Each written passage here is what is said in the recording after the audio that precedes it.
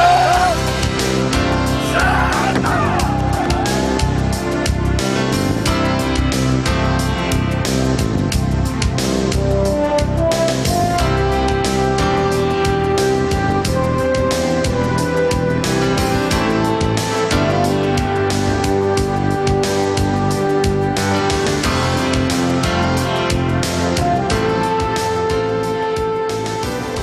you cherish an image of Holland as a gentle, miniature land of placid waterways, quaint bridges, toy town architecture and windmills, well, you've come to exactly the right place. The Openlucht Museum Park near Arnhem by the Dutch-German border is Holland in microcosm with some of the very best examples of the old heritage. But there's nothing gentle or miniature about the eight contestants who've come here to do battle for the Homelink Trophy and the title, Europe's Strongest Man. And the competitors are from Austria, Franz Bierbaum. From Sweden, Leif Vigholm. From Holland, Kees de Vreugd. And from Iceland, John Paul Sigmarsson.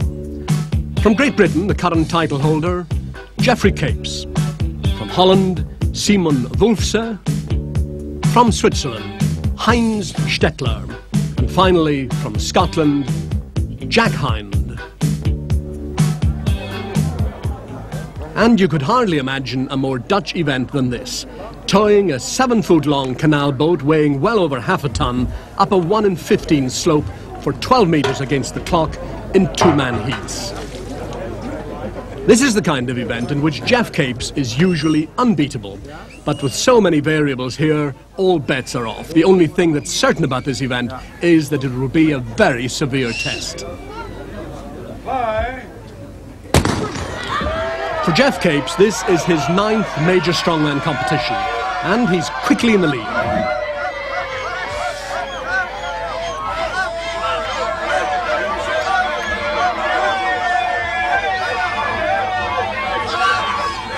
Unlike the usual towing events, there's no build-up of momentum here. Every step of the way is harder than the last. Leif Vigholm, the Swedish super heavyweight powerlifter, is making heavy weather of this.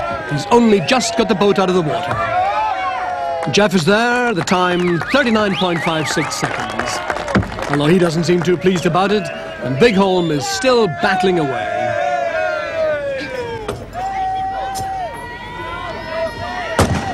And that bang means he's run out of time and his final position will be marked. Geoff, in your time I've seen you haul giant American trucks, I've seen you pulling tram cars. How does this compare? I'd rather pull giant American trucks and tram cars, to be honest with you. Um, in the beginning, when it was in the water, it was lovely.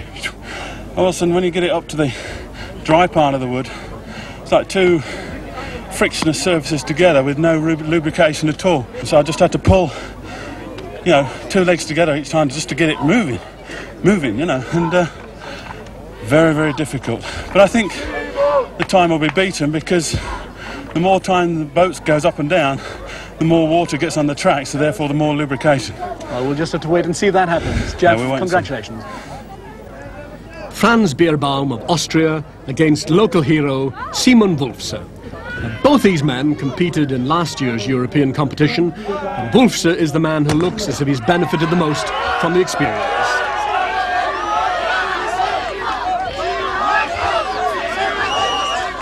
Wulfse has an extremely vocal fan club. The former docker from Rotterdam was runner-up to Geoff Capes last year, and he's obviously trained very hard for this year. He relies on what he calls his primitive power, and I'm not prepared to argue with that.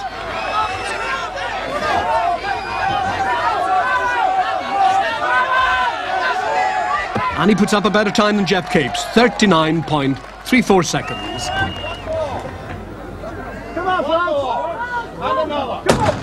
And Franz Bierbaum hears the welcome time gentlemen please of that gun. One of David Attenborough's friends in the crowd, and he's a member of the Wulfse fan club. Now a couple of the more interesting characters here. Handsome Heinz Stettler of Switzerland and a member of the four-man bob team who won the World Championship last year, and he's taking on John Paul Sigmarsson of Iceland. Sigmarsson is the youngest competitor. He's very big, powerful, and extremely athletic.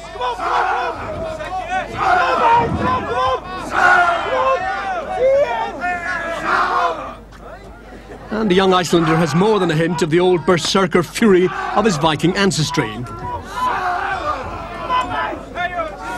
Stettler is finding this event not at all to his liking.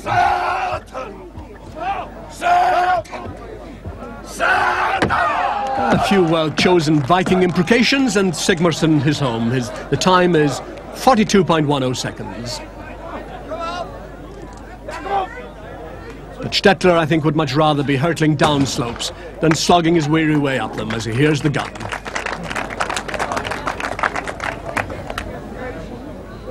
Another interesting character, a butcher to trade, Kees de Vreugd of Holland, who takes on Scotland's Jack Hind, an amiable fellow from Edinburgh, who is runner-up in Britain's Strongest Man. The setting is tranquil, but the competition is fierce. So let's see if the Cape's theory about the slipway getting easier as it gets wetter really works. Scotland versus Holland, Hind versus de Vreugd.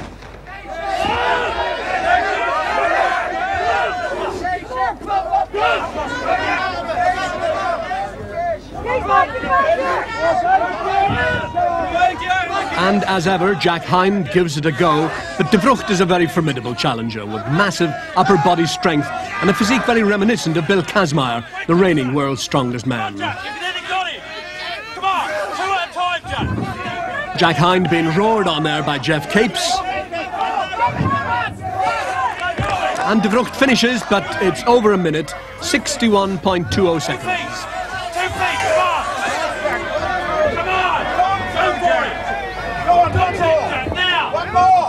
Jack Hind, the man to finish whatever he starts. 77.17. And after the first event, the boat towing, Geoff Capes, the defending European Strongest Man champion, already knows that he's got a battle on his hands. As you can see, this young man, John Paul Sigmarsson from Iceland, is serving notice that he's in in this fight, and the local hero, Simon Wulfse, powerlifter from Holland, already serving notice to Geoff, coming up with maximum points of eight. And as we move location to the second event, there are times in this open-air museum where you feel you've wandered into a Vermeer painting. This event is basically a deadlift, but in a land famous for its dairy produce, the Dutch have worked out their own variant on it. It takes the form of a milk float heavily loaded with these very heavy churns. And as the competition goes on, more and more churns are added. The idea is for the competitors to lift the float off the ground, locking out the legs. Obviously an event of main strength, but one in which good technique is absolutely vital. Stettler and Bierbaum are already out of the reckoning as we join the competition with Geoff Capes attempting 280 kilograms. That's 617 pounds. Geoff, with his eye to all the demands that lie ahead, decides that he'll settle for that mark. Now Jack Hind at 315 kilograms. Jack, as an Olympic lifter, has good basic technique, but you can see the problem here. As he bends his knees, the bar comes right under the kneecap. Well, no lift, but was Jack pleased with his overall performance? Well, I had to get rid of the, the two, the Austrian and the, the other boy, what's his name? Uh, Bierbaum, Yes. the Swiss boy. So um, that, that's me in fifth there. So justified I had to justify the, the fifth place at least. I was hoping for fourth, but well, Now, of those who are left, who do you still rate? oh, this this boy here, this John Paul uh, Yeah, must be. John Paul, Jack Hind here has just picked you as the, the man most likely to win this event. What do you say to that? Uh, I'm far from my best form, but I am still strong in deadlift. So who do you see as your main opposition now in Uh, this event? Wigholm from Sweden, I think. He's the man you've got to beat. Yeah, Okay, good luck with that. thank you. So it's left to the four powerlifters to battle it out. Here's Sweden's Leif Vigholm going at 365 kilograms. And it's oh so easy.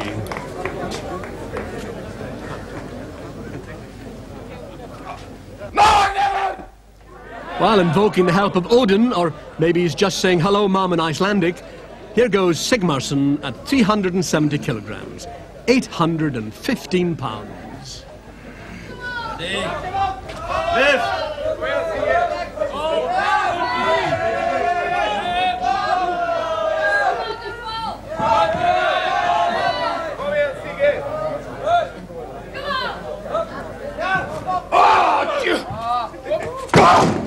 And John Paul decides he's not all that fond of milk anyway. Willed on by his wife Babs, Simon Wulfse attempts 375 kilograms. That's 826 pounds.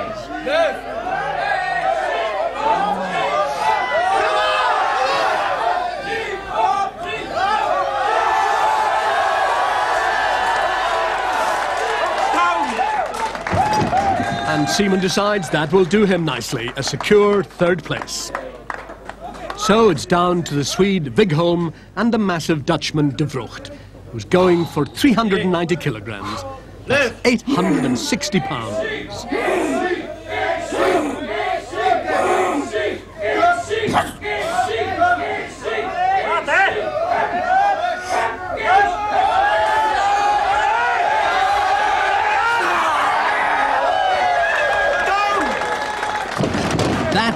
That is great lifting.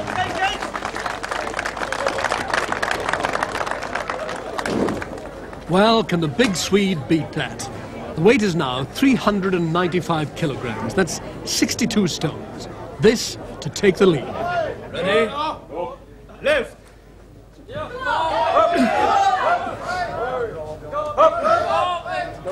Well, not to be. Vigholm concedes the victory to De Vreugd, and things are looking decidedly rosy for the Dutch.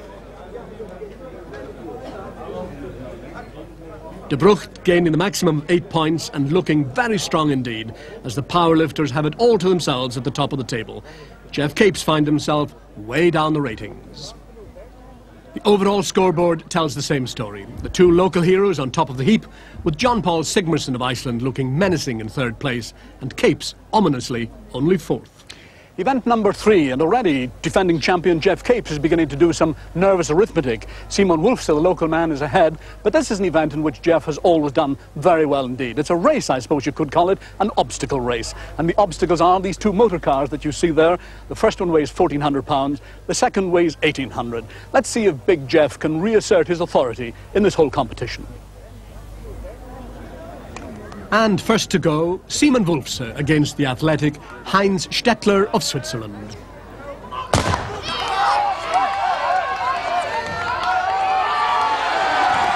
Well, no problem with the first car for Wulfse, who's looking better and better. And Stettler's not all that far behind. This track is on an upward slope, which makes the turning over of the second car a real test. And Stettler looks as if he's decided not to be a mechanic after all. If both fail to turn over the second car, it's the time of touching it that'll count. And Wulfse decides that maybe a jack would be a better idea.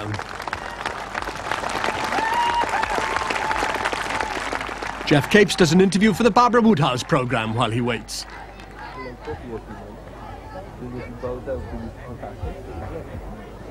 Now Jack Hind of Scotland takes on the rapidly emerging showman of this competition, Iceland's John Paul Sigmarsson. And if this turns out to be a sprint to the second car, I know who my money would be on.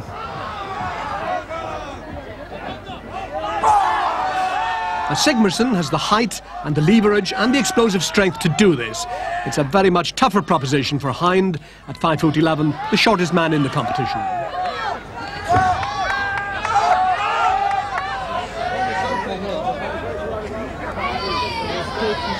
And Sigmarsson decides it's just not going to turn over and settles for his Charles Atlas impression instead. His time, 8.2 seconds to touch the second car. Very fast indeed. So it's De Vreugd versus Geoff Capes. Now this should be a good event for Geoff, who can sprint with the best of them. And Capes touches the second car in an astonishing 7.92 seconds, and De Vreugd was only just behind him. Now, De Vreugd is trying to get a rocking motion going in an attempt to defeat this slope, and it might just work.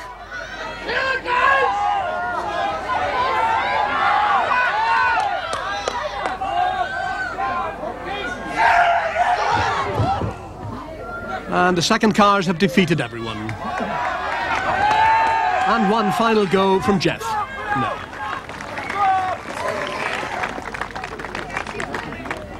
First win and maximum points for Geoff Capes, and it was his speed that earned him the points.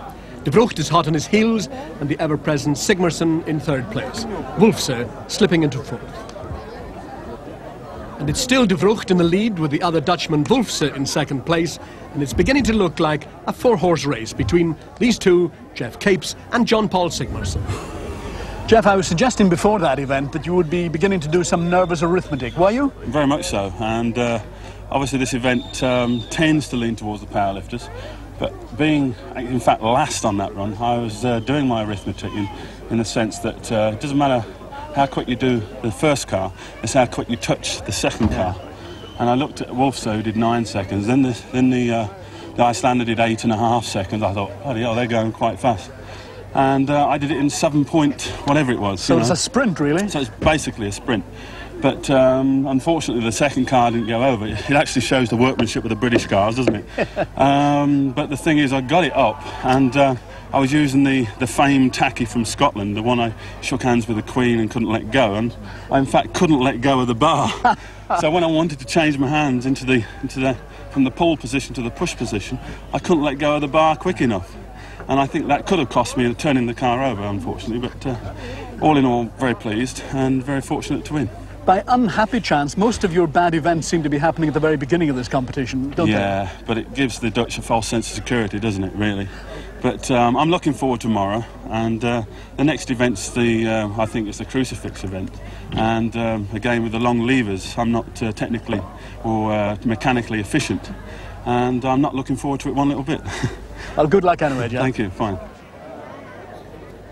Here in Holland, 13 kilogram cheeses take the place of weights in this lift, and it's an event for which nature has certainly not designed long-armed fellas like Geoff Capes. Truth to tell, none of the competitors relishes this event. Simon Wulfse working up his concentration. The aim is to lock out the arms horizontally, and the Dutch officials have insisted on a palms down stance, which makes a tough event even tougher.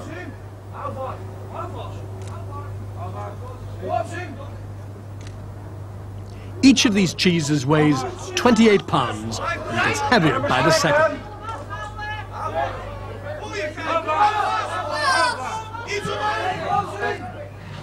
And Wolf's time, 36.3 seconds.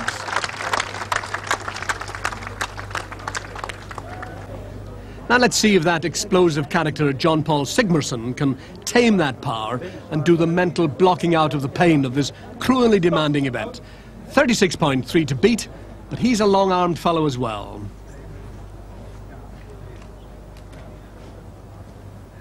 Now John Paul reckons he can do over a minute, but this comes at the end of a long, hard day. Oh! Oh! And that's the end of the road for Sigmarsson.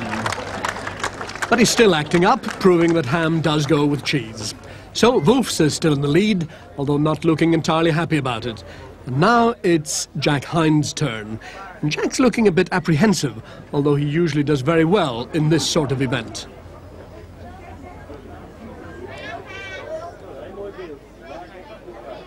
And Jack's effort was over before it even started. A complete failure there.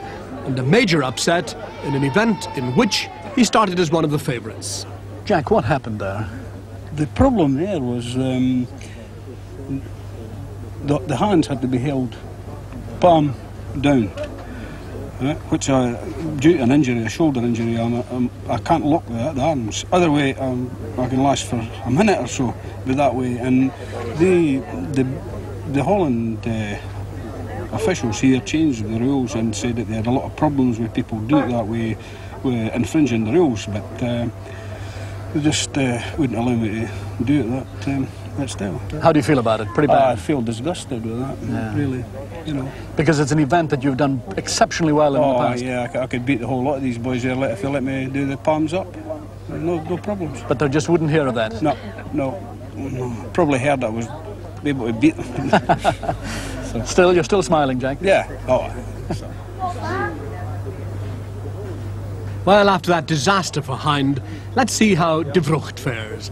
He's an enormously powerful man with massive shoulder development and looking better with every event. The big butcher is a rather dour individual, so he might well have the dogged sort of temperament to match his giant strength. The referee keeps an eagle eye on them, a real stickler for the rules, and De Vreugd is suffering. But this is going to be a good time, 41.6 seconds, the best so far.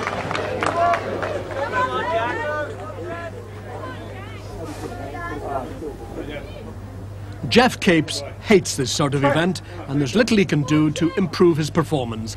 It's all about arm length. Oh, Hi, Geoff. Well, plenty of encouragement from Jack Hind, and Geoff will be hoping for at least 30 seconds. Arm straight, warning. And a warning as his arms begin to drop.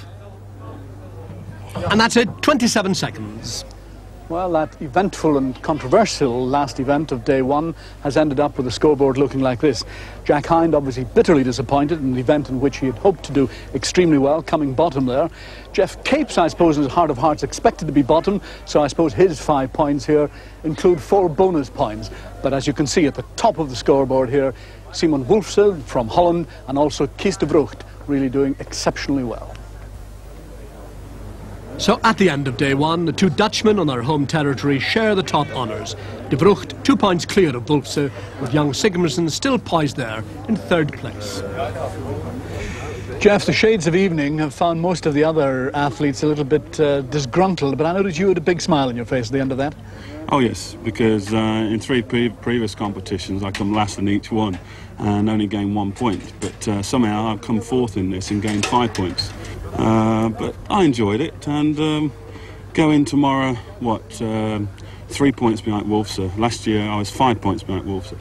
But um, the the big Dutchman, he, he's in a good position to do well tomorrow. Geoff, at the very start of the day, you rated this young Icelander, John Paul Sigmarsson, as being a real threat to you. Do you still rate him that way? I still rate uh, the Icelander because I've got some very good friends in Iceland, and each one of them is strong, you know. And if they send an Icelander, he's going to be good. But you're going off to bed in a much happier frame of mind. Yeah, I'm going for a swim, then I'm going for a sauna, then I'm going to have a pint, and then I'm going to bed. Good luck tomorrow. Thank you. Fine. Arnhem bears few of the scars of desperate events that made it a place whose very name still arouses deep emotions and the memories of the high courage, the pity and the futility of war. The bridge too far is still a vital crossing of the Rhine, but the echoes of wartime events are muted now. And as the second day of hard competition begins, time for assessment with the doctor in charge, Dr. Case Close. Dr. Close, as the physician supervising this event, I'm sure a lot of people talk to you about the kind of punishment that these heavy athletes put their bodies to. How dangerous is this? I don't think it's dangerous because uh, all the athletes are well trained. Uh, they're doing the training daily, and I don't think there's any danger. Okay, there are always injuries, but you can see yourself why. You can't do it, and I can't do it, but they can do it, and they know themselves how far they can go. At the World's Strongest Man competition in America, I noticed that everybody seems to be gulping oxygen all the time. Here in Europe, we hardly bother. Why is that? We do have oxygen here, but we, we didn't use it. I think we use it uh, at, the, at the flour uh, game. I think we use it there. But it's always standing by. It's always standing by. And so are you. Okay.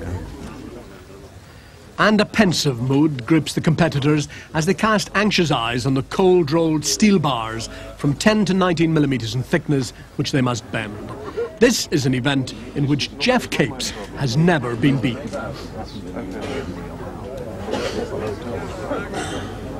Kees de looks as if he's trained hard for every event. And Leif Vigholm of Sweden completes this trio of perhaps the most powerful men in this competition. Three, start. Go on, Geoff. And just look at that. Capes makes nonsense of this 15mm bar. I've actually lifted a bar after it's been given the Capes treatment, and at the bend, it's hot to the touch from the violence of the friction. Well, De Vreugd made it, and so does Vigholm.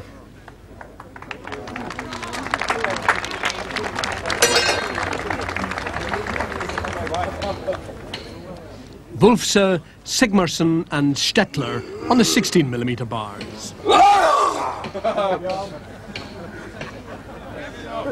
Get ready. One, two, three, start. Come on, Come on, come on. Button.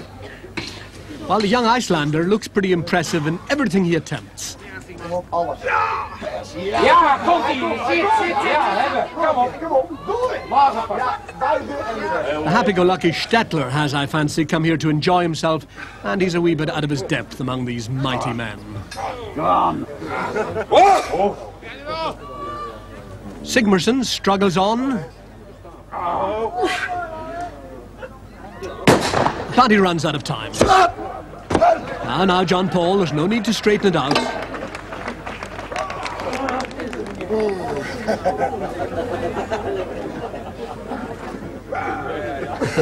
and that look from Stettler says it all.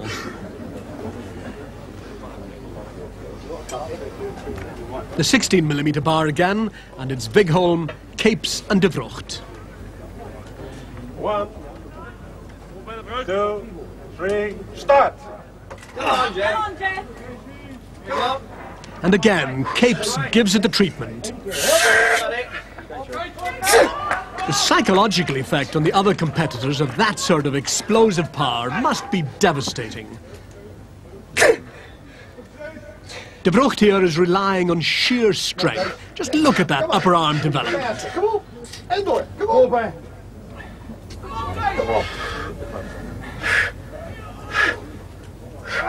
Kom op. The moment strongmen dread, and Vigholm looks alarmed, and no wonder. It looked like a sickening injury. Bad. That's bad. So can you tell us what's what's happening? Uh, a rupture of uh, the, the musculus deltoideus. The, and he told he just told us that he heard him. Geoff Capes said he heard it standing Yeah, beside him, yeah. heard it go.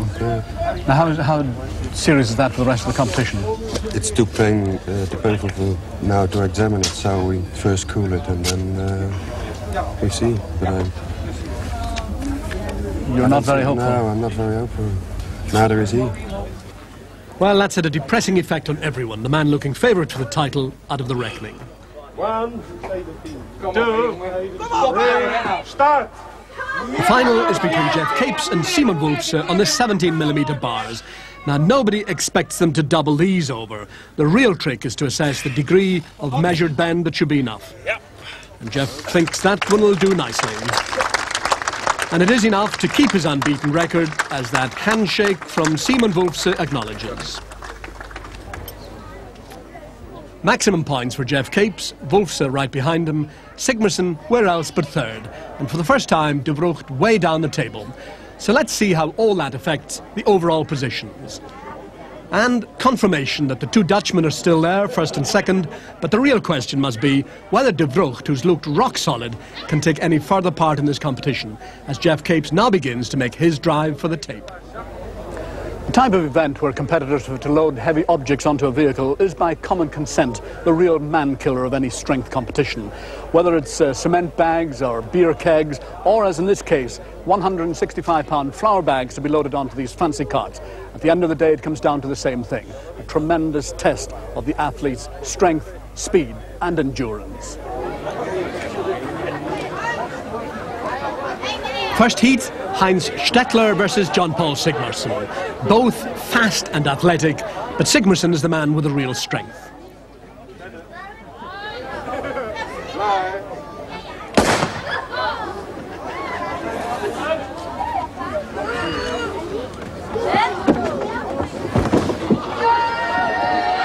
And straight away you can see what the problem is in this event with all this flour flying about. And I'm joined now by Geoff Capes. Sigmarsson is very athletic young fellow, isn't he? Very, very athletic and uh, man to watch. Um, they've got a problem with the powder though. It's so fine, it's getting into the breathing, and when it, with it being a, a calisthenic activity, a lung event as well as strength and power, um, it's obviously restricting the breathing and, and getting into the lungs. Now, I've heard you say that there's a sort of wall of pain that they run into, isn't there? Yeah, there's a wall of pain uh, in normal sense. I mean, this is totally ridiculous with the powder and everything going into your lungs at the same time. It could just literally stop you dead. It's not a good event. Um, it is a very, very awkward thing to do. I'm not looking forward to it one little bit.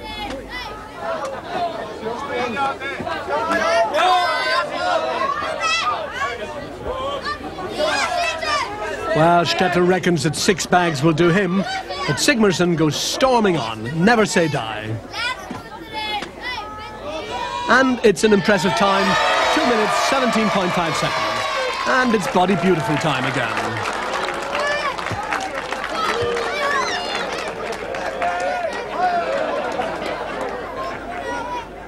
Uh, just time for the dust to settle, and we're into heat two.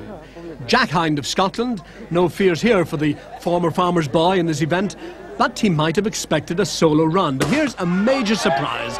In spite of that sickening injury in the last event, a surprised Jack Hind finds himself up against, large as life, Kees de Vreugd. Now, Geoff, this needs some explaining. Here's a man who seemed in mortal agony just a few minutes ago, and here he is going in this really rough event. Yeah. Well, it really depends on what muscle group is actually uh, hurt. Um, I understood it was his deltoid, but apparently it's pectoral major, which is the front two uh, chest muscles.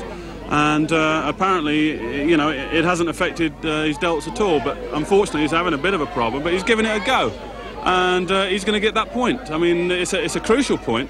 He's just got to load that. If he loads it, then he'll get a point.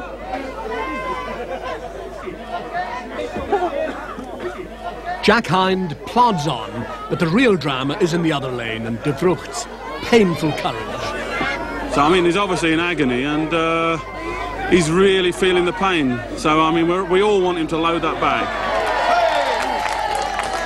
And he has loaded it, and that's true grit, but it must surely be his last contribution to this whole competition. And let's not forget Scotland's hero, Yep, Jack, Jack, Hind. Hind. Well, Jack's a doer character, I mean, obviously from Scotland. And um, he's previously a, a land worker, a farmer. And uh, he said, oh, you know, it's just a wee little baggers and we just pop them up there. Look at him just slinging them around. And he's, he's a, a character in his own right, you know, a phenomenal doer, uh, typical Scotsman. And Geoff breaks off from commentating to urge Jack on. And the bold boyo even manages a minor sprint to the finish.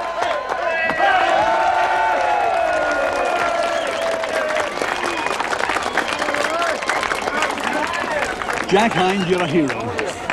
what was that like? It was um, it was difficult. To, as soon as you got the bag up there, you choked the, the flour. I got a job at the mall with the, sifting the flour. What the, Were you aware of Geoff Capes roaring you on there? oh yeah, who wouldn't have been? It was terrific, though, wasn't Yeah. it? And we've just heard that you're in the lead. That was the best time so far. How about that? That was good. Hmm. Very good.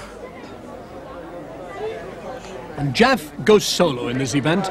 Leif Vigholm of Sweden is out because of a leg injury he received in the very first event, the boat towing. It just got worse and worse. And look at the way Geoff handles these huge sacks. He goes at tremendous speed. Of course, his six feet five inches height helps him heft the sacks onto the cart. But this event is really about character and determination.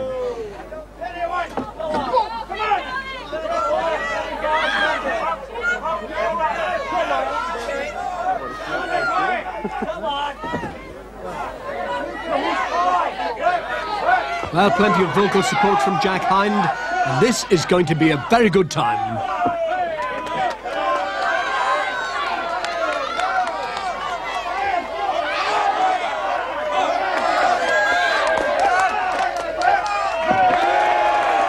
One minute, 23.69 seconds. A bit of British solidarity there, Geoff. Uh, you roared on Jack. He was doing the same for you. Well, you got to with the only two Englishmen here. Well, sorry, Jack, Scotsman. I'll let you off. I mean, well, I'm half Scots now, so. Oh, Terrific time. 123, something like that. uh, very happy with 123. Well inside a target I set myself. But uh, the big problem is, is in fact the flour. Getting into your breathing apparatus, you know? They're very, very difficult. And uh, obviously I'm pleased with the time. And uh, I need those bloody points. Can you see anyone beating that? Simon, he's good.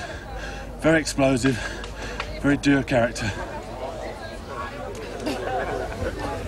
Now the Austrian rock lifter Franz Bierbaum versus the local man Simon Wulfse.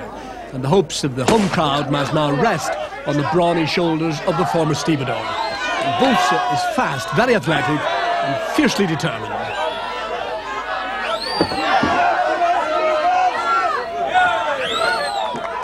Bierbaum is strong but pretty immobile, and he looks as if he would prefer a gluten-free diet rather than eating all his flour.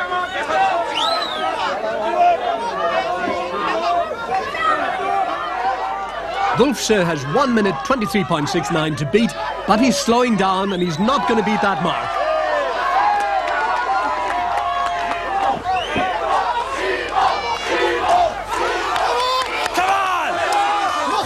It looks to me as if he's injured his forearm, but isn't this extraordinary? Despite the fact that the Dutchman is the biggest threat to his title, nobody's shouting encouragement louder than Geoff Capes. The pain of this sort of endeavour bonds competitors together.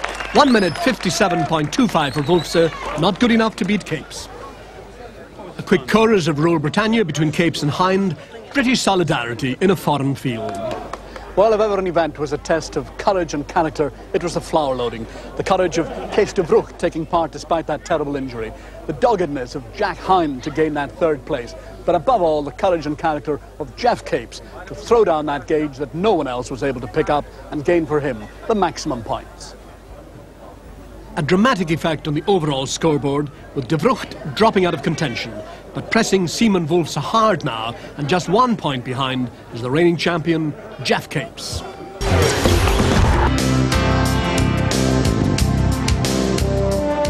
And there's trouble at Mill. The Paltrok windmill, that is. The log lift has already taken its toll of Jack Hind and Heinz Stettler as we join it. Vigholm and De Vreugd have both retired hurt, so Geoff Capes finds himself taking on powerlifting specialists. And here he tackles the 125 kilogram log, and it's success for Geoff. And now at the same weight, Franz Bierbaum. He's a champion at the Austrian national sport of rock lifting, and he's done well in the early stages of the log lift. He's very determined, but the real problem here is the awkwardness of rolling the log into the position where it can be pressed skywards.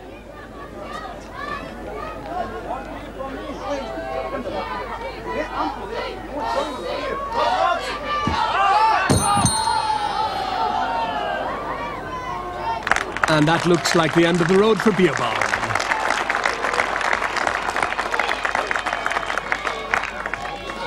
Now, with the log weighing 130 kilograms, here comes the Viking warrior himself, Jon Pall Sigmarsson.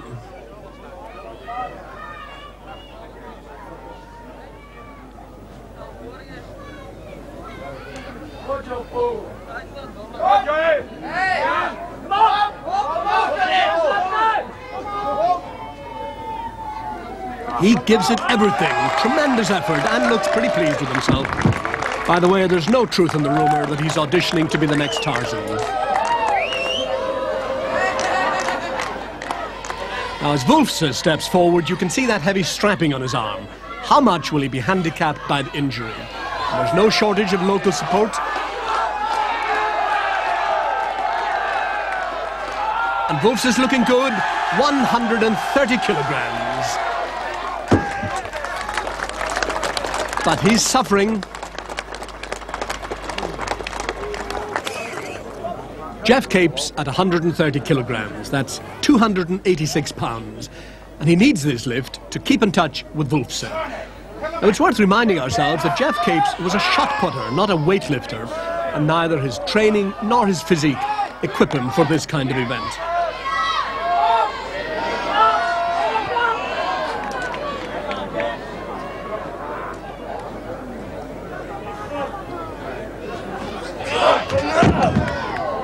Ominously, it looks as if Geoff has injured his shoulder, and that failure means he'll have to settle for third place, which could be crucial in the overall competition.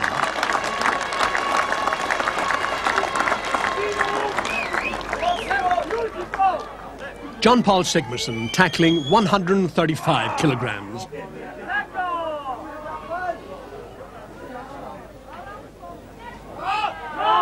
And he cleans the log to the shoulder very efficiently. But it's the next stage that's the real killer. And just look at that effort. Each competitor has 90 seconds, and within that time can have as many attempts as he wishes. and Sigmarsson is determined to keep in contention.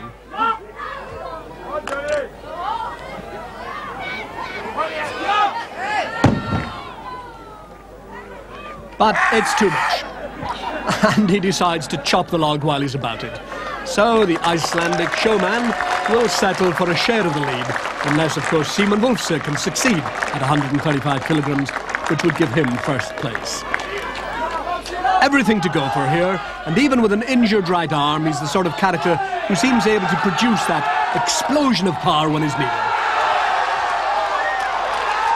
Struggling a bit, but it's a good lift. And joy is unconfined in the Dutch camp as their man wins the event and puts terrific pressure on Geoff Capes. And it's getting to be survival of the fittest. Wulfse gets the maximum points, Sigmarsson seven, and Geoff Capes can be pretty pleased with that third place and six points. With only one more event, the overall scoreboard says it all. Wulfse is three points clear of Geoff Capes, so it's nail-biting time as we head for the grand finale. If you've ever wondered what the sporting expression having an early bath really means, well, this could be it. The final event of this whole competition. It's a tug of war, and between the competitors lies this rather muddy Dutch canal, offering the possibility of a spectacular splash finish to each of these competitions. This is an event that uh, Geoff Capes really must win to give himself any chance of retaining his European title. The site of this very special tug of war resembles a clearing station as the injuries begin to catch up with the tired competitors. Kees de Vreugd thinks of what might have been. Leif Vigholm is one of the walking wounded, but only just. And because of their infirmities, Capes and Bierbaum get walkovers in the first round. First tug and the dashing Swiss bobsleigh man, Heinz Stettler, looks to me like a fellow preparing to take a dip as he confronts that solid citizen, Simon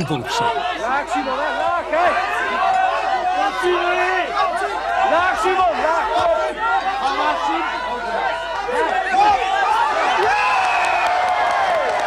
And Mr. Stettler doesn't seem too disgruntled by his sudden immersion. Geoff, you're pretty good at doing your sums and working out the permutations. How do you see this final event? a tough event. Um, on permutation sense, um, I've got to win to win. And if Simon finishes first or second or third, he wins. But if I finish, uh, if he finishes fourth, then he loses. But if I finish fourth, it goes on like that. Um, no, he, he, has a more better chance I than to win because he had a three points advantage, and uh, with three uh, injuries, proper injuries to three competitors, it makes it far more easier than me to win. But um, all in all, it's been a great competition. I've enjoyed it. Unfortunately, I got slightly injured in uh, the log lift, and uh, it doesn't give me incentive to go into this other arm exercise uh, with the same uh, venom I would do normally. But knowing you, you'll battle it out to the very end. Oh yeah, he's not he's not won it yet, and uh, you know I'm from Lincolnshire, mate, and uh, we don't give anybody nothing. Just like the Scots. Good luck. Thank you.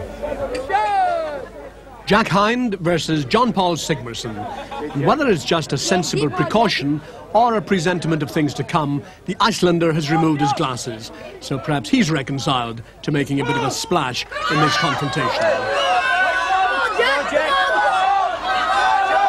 Jack Hind, of course, could be a very important part of Geoff Capes' hopes of retaining his title.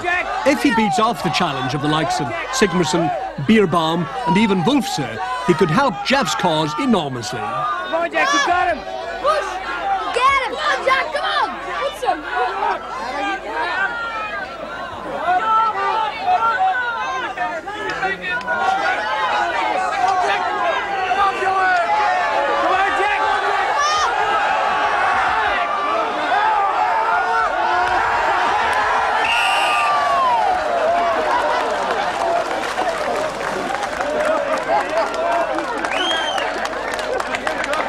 That must go down as game, set and match to Jack Hind.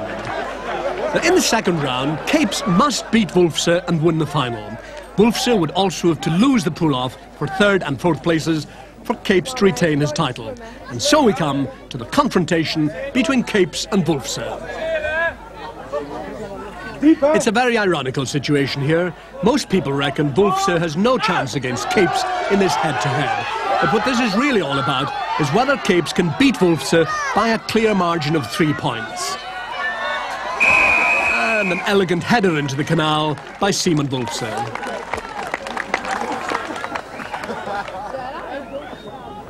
Jack Hind takes on Franz Bierbaum, and they look well matched, both chunky and determined.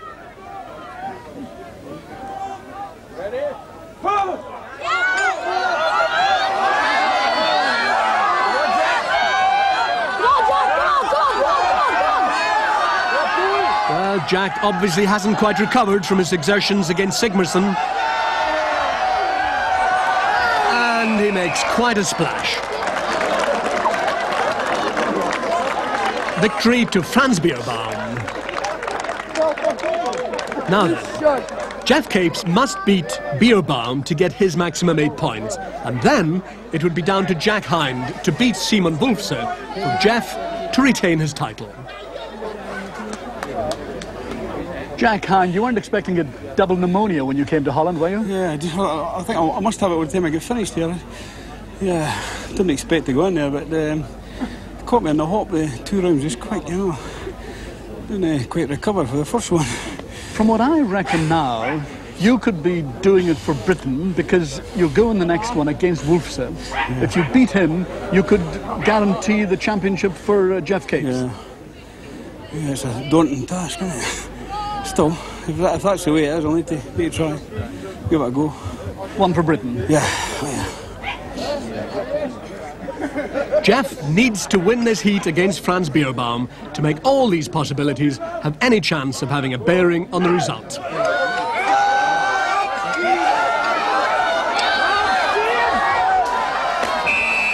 And that's what happens when 23 stones of Lincolnshire brawn and determination get down to business.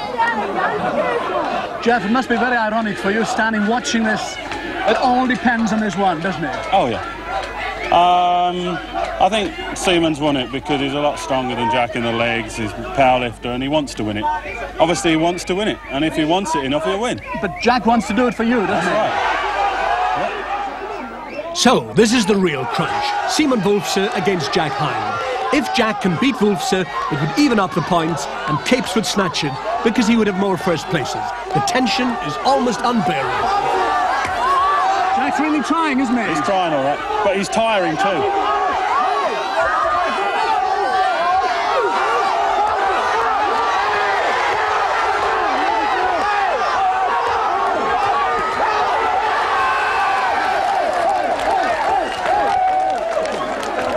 by the looks of it, means you've lost your European Championship. Unfortunately, yeah. But uh, we live to fight another day, don't we? How do you feel? Um, I'm fine, you know, obviously a little bit disappointed, but uh, uh, there's a lot of swings and roundabouts, and uh, I think there's more roundabouts than swings for me. But Tough competition. Oh, very good, tough competition. And he, he come second to me last year, and uh, mm, you can't say a lot more than that, I think. A great finale, and the final scoreboard shows just how desperately close it was at the finish. After two days of fierce but sporting competition. At the top, Seaman Wulfse uh, by one point, holding off Geoff Capes. And Mr. Mike Fitzsimons, Assistant General Manager of Homelink, presents the trophy to Europe's Strongest Man 1983. From Holland, Simon Wulfse.